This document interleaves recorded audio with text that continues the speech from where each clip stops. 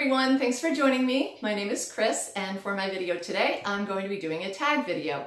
This was a tag that was created by the lovely Flo in the city and she tagged me. It is all about handbags that hold a lot of sentimental value for us and probably that you would never get rid of. So I really like the idea for this video and I decided to just do a quick little video on the three bags that I have the most sentimental attachment to. So if you've watched any of my videos or are a regular visitor to my channel, you're probably not going to be surprised by any of these because I have shown all three of them before in various videos. But I'm going to start out right away with the oldest of the three and it is my Speedy 25 in the Epi Noir. So this was my very first high-end designer handbag and also my first Louis Vuitton.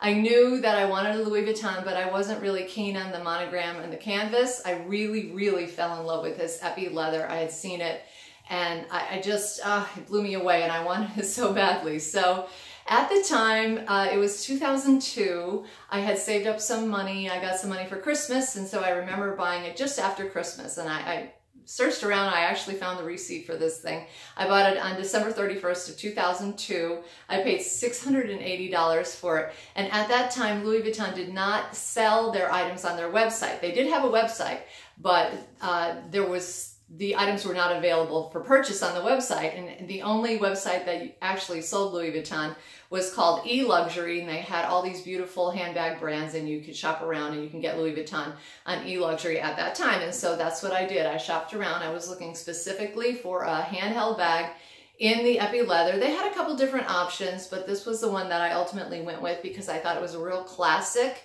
shape. I really liked the fact that it was a top handle bag and I also loved the gold hardware on it. And in retrospect, I think I made an excellent choice because it has held up really, really well.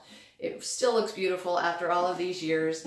And in fact, I still use it. I was using it a couple weeks ago. I got a new organizer for it, which I did a, a video on. I'll try to link that one as well if you want to check that out. But uh, I'm still using it 17 years, 16, plus years later. So that's a testament to what a classic this really is. And because it is my first Louis and my first high-end handbag, I will probably never get rid of this one. So I do love my Speedy. The next bag that I have is also not going to be a surprise for anybody who has watched my videos. This is my Tod's Bauletto.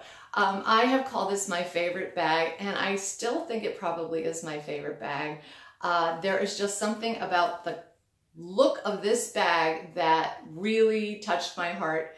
Uh, I'll tell you why in just a minute, but um, it was a very, very popular bag in its day. I think it's about seven years or so now. Uh, it was really an it bag and everybody wanted one. It's called the D-Styling Bauletto. Comes in these beautiful leathers. There was um, beige, there was this gray, there was some blacks. Gorgeous, gorgeous bag and a lot of celebrities were filmed with this bag, etc. And um, I just thought it was beautiful. It took me a little while to save up for it and to get it, but I did find it. And the reason that I absolutely love this bag is as soon as I saw it, like the minute I saw it for the very first time in a magazine ad, um, it just reminded me of a bag that my mother had when I was a very little girl. I was about three years old and she used to let me play with her handbag and I would pretend that I was a grown-up lady and, you know, pretend that I had money and that I was shopping and things like that. And I'll, uh, as soon as I saw this bag and this, this picture in this magazine, it just brought back all these memories flooding back into my mind. And um, I knew I had to have the bag and I probably will never get rid of this bag. There's just something about the way it looks. Now, my mother's bag didn't look exactly like this, uh, but for some reason, it just reminds me of it and brought back those memories. And so it's very special to me. It's one of my very favorite bags. Even today, I just love the look of it. I love the feel of it. And I love the memories that it brings back to me. So my Tod's Bauletto, another bag that I probably will never get rid of. And the last bag is my Chanel. So this is my Chanel Jumbo Flap Bag in lambskin leather and this is very sentimental for me because my husband bought it for me. All of my bags, I would have to say I purchased myself or at least I picked them out. So, uh, you know, like if it was going to be a Christmas present for my husband or something, I said that would be the bag that I want and he would go buy it.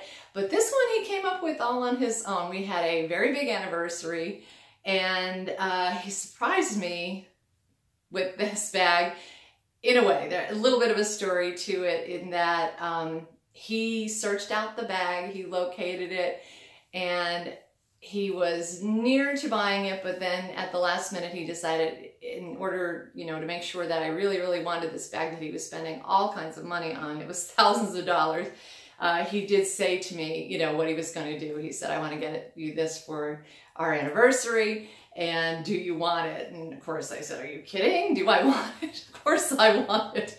Who doesn't want a Chanel flap bag?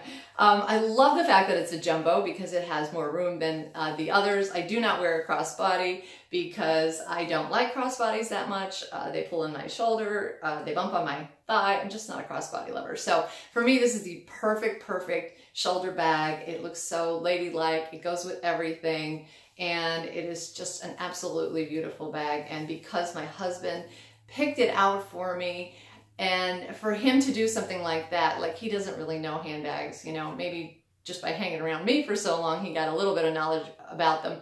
But I must have mentioned how beautiful Chanel handbags were at one time and he was listening and we had that huge anniversary coming up and he just said he was going to go get it. And then, you know, when he told me about it, I, I was just ecstatic. I, I remember I carried it everywhere for about a week and then I got panicky thinking, oh my God, what am I doing?